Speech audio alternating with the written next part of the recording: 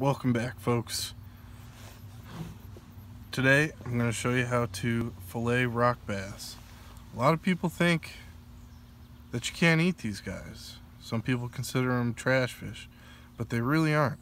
And they taste just like any other panfish, just like perch or, or bluegill. And uh, a lot of people put them back, even when they're panfishing, they put them back. But you can eat them. And today I'm going to show you how to fillet them.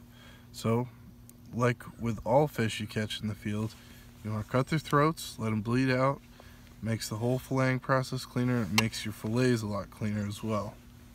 So, to get started here, take this fin, like most, most other fish you catch in fillet, flip that up, come down here, cut right to the head, and rock bass scales are a little bit tougher than other panfish, but so a really nice sharp knife really helps.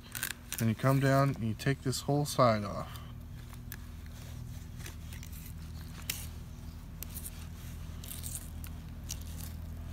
Try and leave that tail skin connected.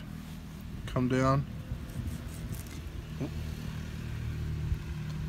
And sometimes it'll come off, but just pinch there take it right off the skin. Just like that. Come around do the other side.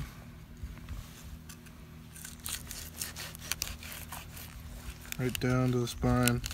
Turn your knife.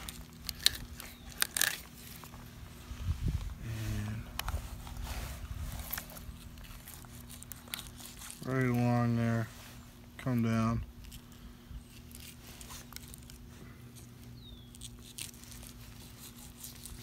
Take it right off the skin. Messed up a little bit there, but you get the idea. So, then you come come around. You want to take the meat off the ribs. So you come down here, cut straight down, straight down. And you come around, take the meat off the ribs. You get a nice little chip there. So you got nice fillet and some rib meat come down with this one. Go straight down. Go down and around.